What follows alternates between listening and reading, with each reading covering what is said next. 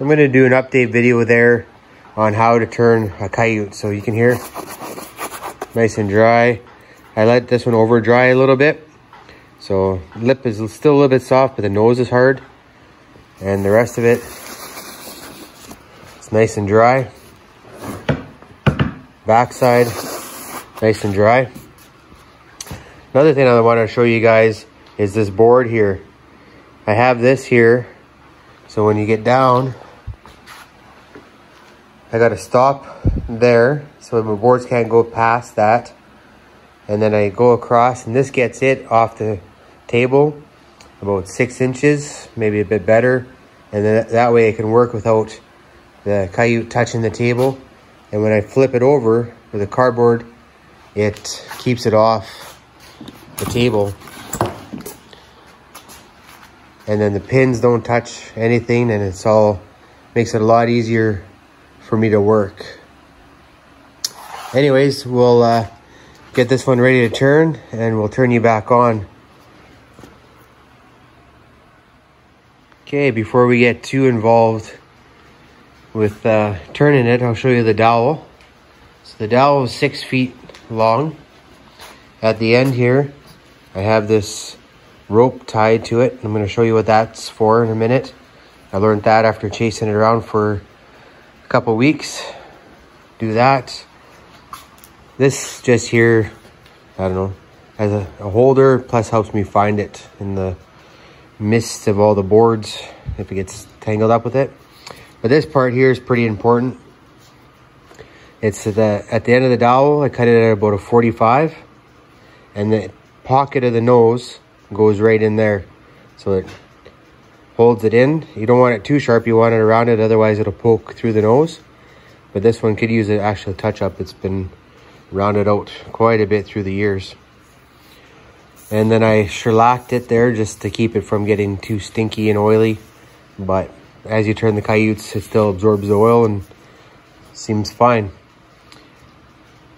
So you'll get to see this in action here.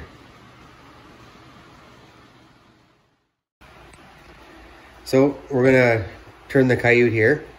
So I just showed you it's nice and dry. So what I do with the cartilage removed, I just tuck the ears back in. And then I turn it, take the nose, make a pocket.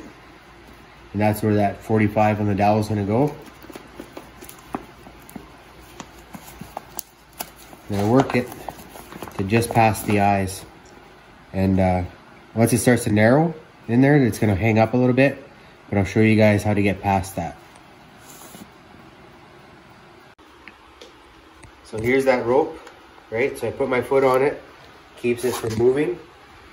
So when I do the rest of it,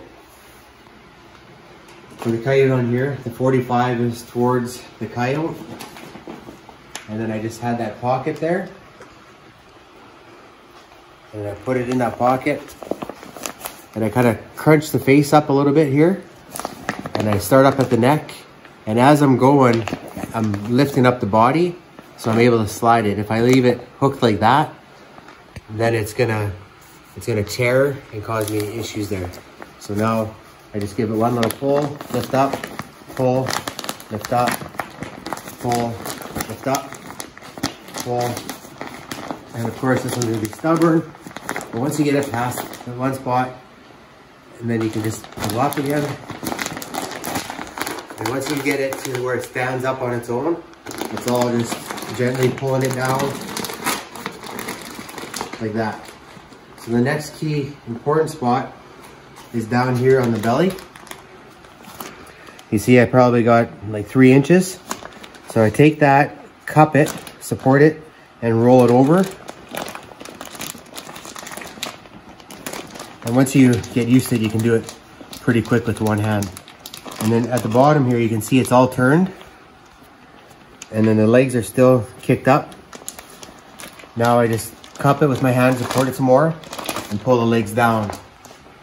So now I have the coyote fully turned and it's ready to go on the board the other way.